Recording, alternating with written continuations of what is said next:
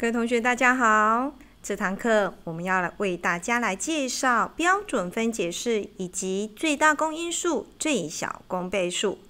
那我们就开始上课喽。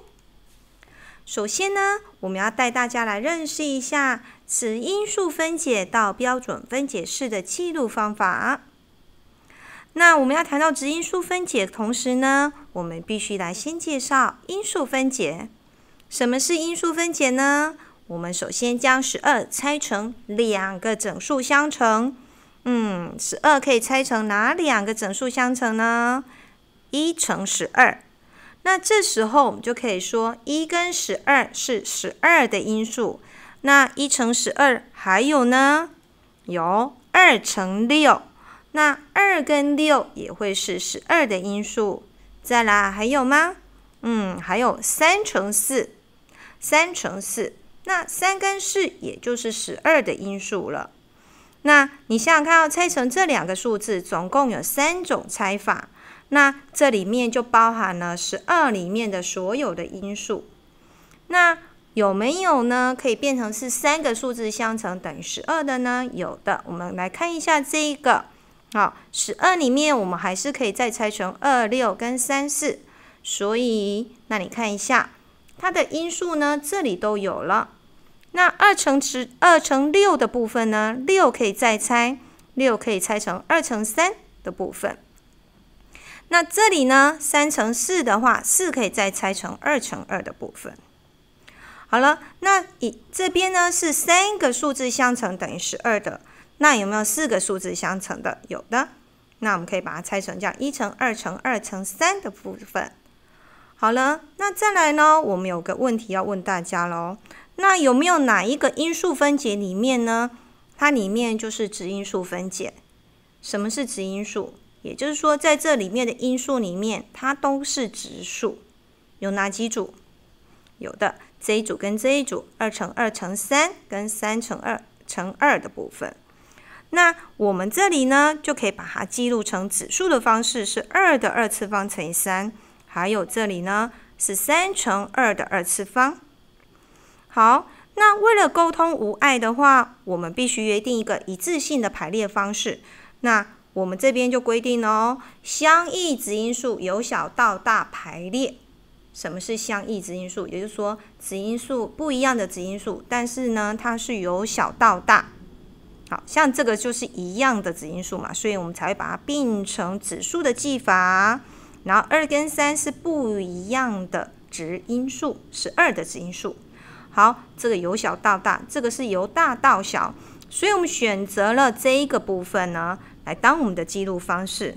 那一旦有符合这样子的我们的约定一样的排列方式的时候呢，就叫做标准分解式。好了，那我们再来一个十八，用刚刚的方式来分解。我们先把它拆成两个两个数字相乘，一乘十八。那所以一跟十八呢，就是它的因数。再来呢，二乘九，那二跟九呢，就是十八的因数。再来呢，三六十八，那三跟六呢，是十八的因数。所以你看哦，一十八，二九三六，还有其他因数吗？就没有咯。这个是十八里面的所有的正因数哦。好，那这样的方式呢，再来我们继续拆解。那我们可以把它拆成是三个数字相乘的吗？可以的话，就把它弄出来。好，十八可以拆成一乘十八，可以拆成一乘二乘九，或者是一乘三乘六。那二乘九的部分呢，我们可以把它拆成二乘三乘三。那三乘六的部分呢，可以拆成三乘二乘三，也就是六把它拆成二乘三的概念。那继续，那可不可以拆成四的？好，那一样的问题呢？有哪一个因数分解全为子因数分解？有的，哪两个？这两个。好，跟刚刚很像，但是又不太一样哦。这边是二乘以三的二次方，那这边是三的二次方乘以二。那记得喽，我们约定呢，要由小到大，相异的质因数由小到大排列好。这样子我们沟通起来呢比较不会有问题，才不会一个人讲这样的方法，一个讲这样的方法，有些时候我们就会对不起来我们在讲什么了。好了，有一致性的沟通方式之后呢，我们就说这样的一致性的约定写法呢，称之为标准分解式。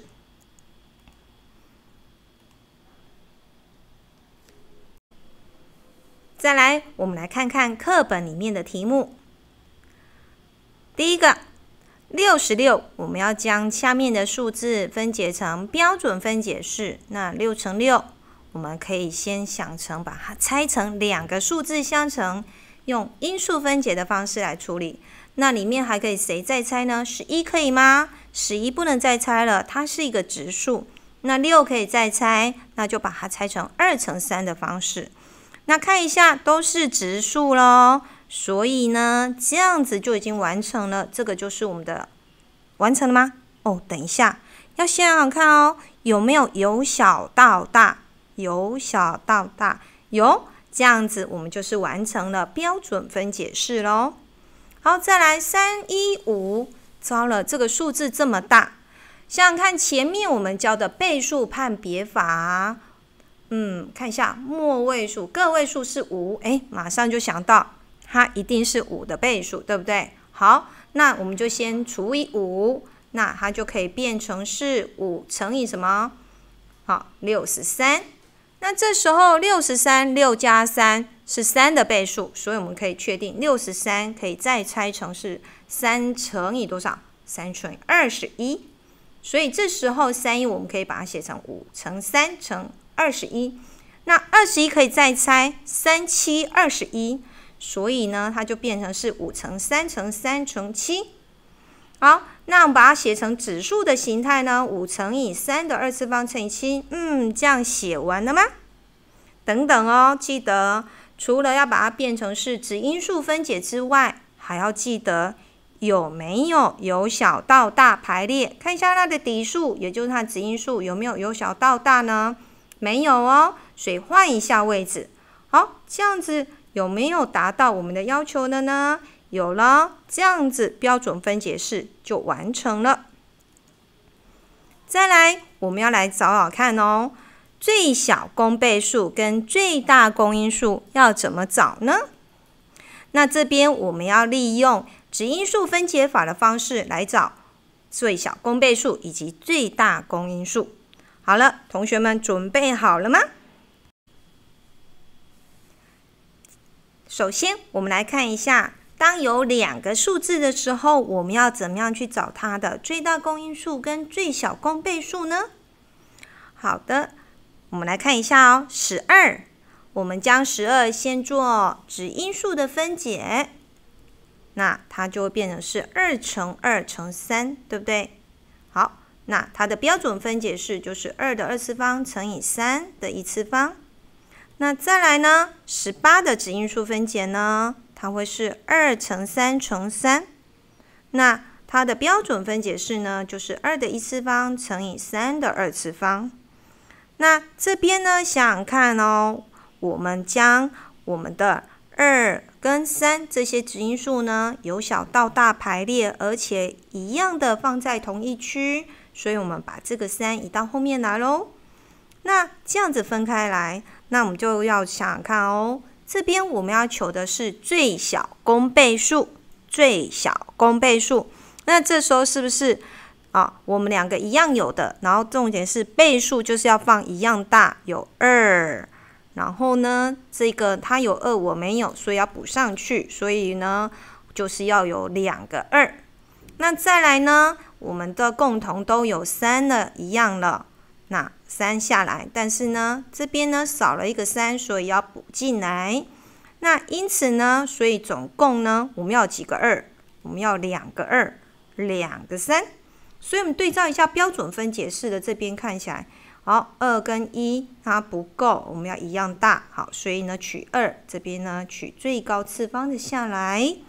那所以我们的最小公倍数就是什么？二的二次方乘以三的二次方，也就是四乘以九等于三十六。那最大公因数呢？我们是怎么取的呢？因数，因数，公因数就是两个共同要拥有的因数，所以有共同有一个二，有一个三，所以二的一次方乘以三的一次方，所以就等于六。好，那我们用这样的想法去结合短除法来看一次哦。我们来看一下最小公倍数，我们用短除法的除法要怎么做呢？好，看一下喽。这边呢，公倍数大家都有二，把二提出来，六跟九。那再看一下哦，六有二的因子因数，所以我们可以把二提出来。那剩下多少？六提二出来会剩下三，但是九没办法提，就照抄。你看这边就没有东西，因为三在这里了，而九在这里喽。那再来呢？好，三跟九有共同的三的部分，我们提三出来，所以三除以三就会变多少？变成一。九除以三会变成三。OK，再来，我们再提一个三出来。好，其实呢，你看哦，说诶，跟你们的短除法不太一样哦，我们取到互值就停了。其实我们这边要带的一个概念就是说，其实你应该取到这边都剩下一之后，二乘二乘三乘三，这个就是我们的最小公倍数了。那只是后啊课本提到的方法呢，就是简易一点，不用再这么复杂，哦到互值的时候就可以停了。OK，好，那么呢再来，我们就可以写成是，好记得哦，最小公倍数是中括号，所以是二的。跟十八的中括号就是求它的最小公倍数，就是二乘二乘三乘三。好，那如果同学们在短除法的时候不用判别什么时候算完的话，你其实可以用老师的这样方式哦，让它的到最后呢，这边算到是一的时候，全部都是一的时候，你就可以停了。这样子有没有问题呢？好。那再来，我们来谈三个数字的最大公因数跟最小公倍数。好，一样的呢，我们先将十二拆解出来哦，拆解子因数分解，它的标准分解式是这样子的哦。那十八呢，是二乘三乘三。那二十呢，是什么呢？好，是二乘二乘五，所以它的标准分解式呢是二的二次方乘以五的一次方。好，这边呢，我们呢由小到大排列，把同一样的呢放在同一区，所以十八的三呢，我们移到后面来，再来二十的五呢，移到最后面来，然后呢把它划分区域，划划分清楚。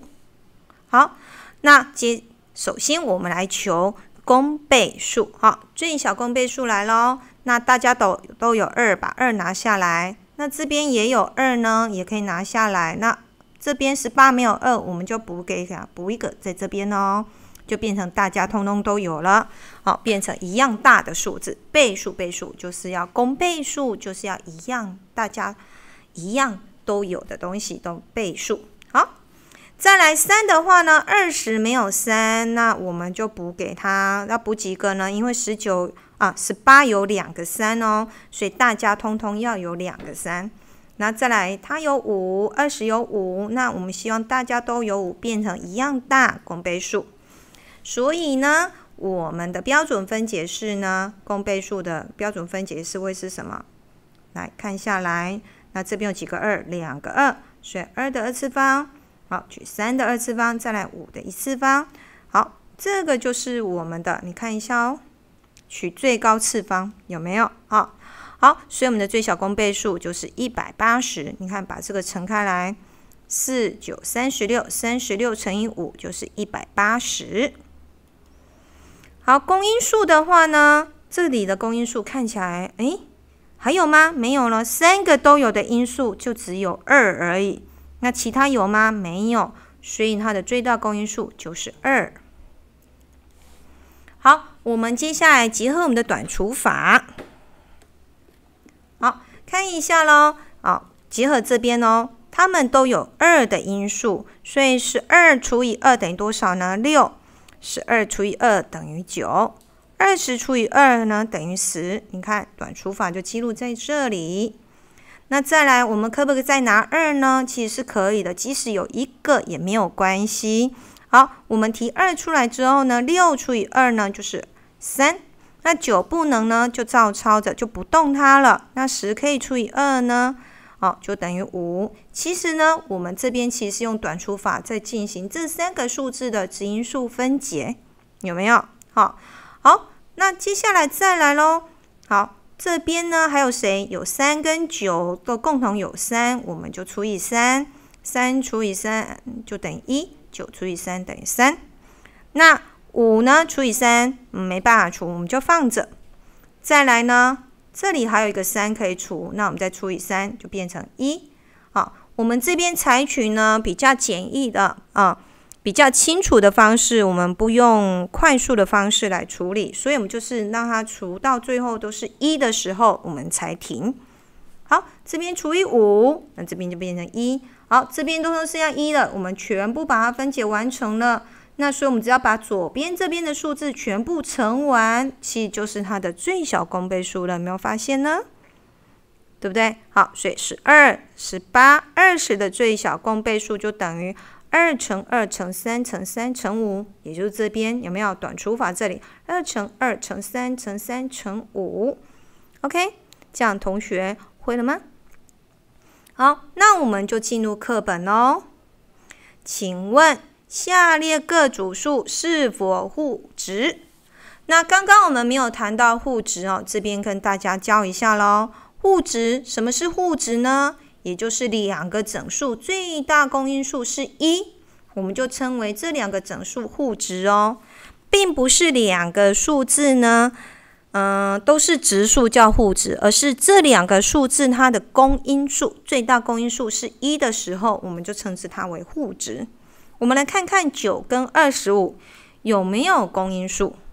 九是三乘三，二十五呢是五乘五，有吗？没有，它们的公因数就是一而已。好，最大公因数是一，所以这时候我们就会跟跟你说呢，九跟二十五是互质哦。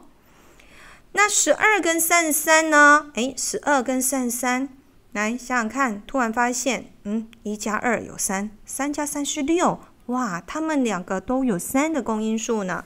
那还有其他的吗？没有喽，它的最大公因数是三，所以是互质吗？就没有互质。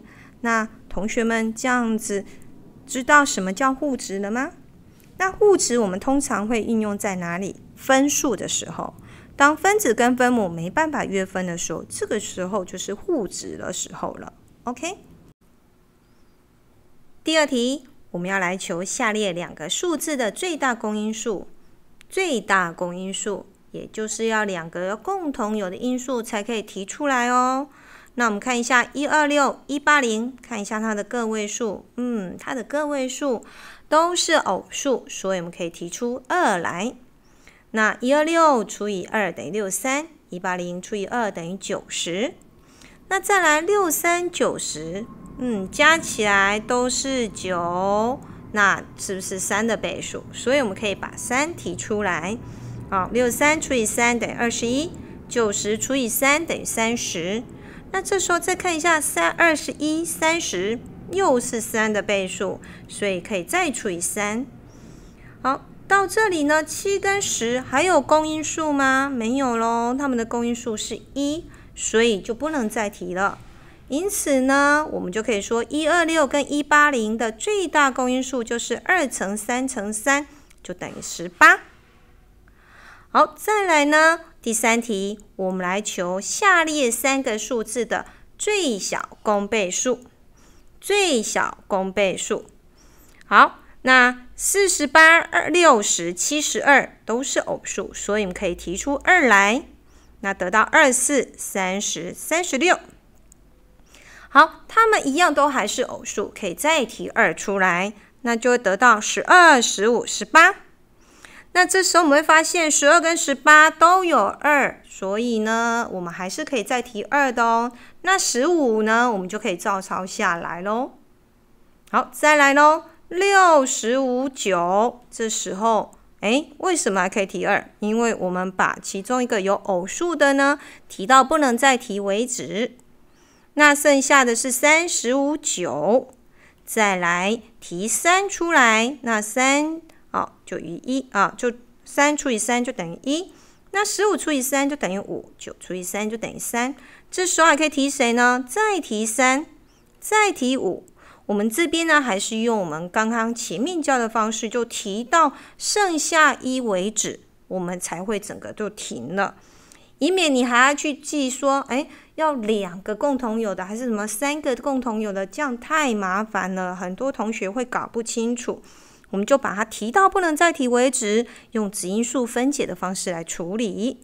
好，那好，那。我们看一下我们的结果是什么呢？也就是二乘二乘二乘三乘三乘五，所以我们就可以把它写成是二的四次方乘以三的二次方乘以五，或者是把它乘开来等于七百二十。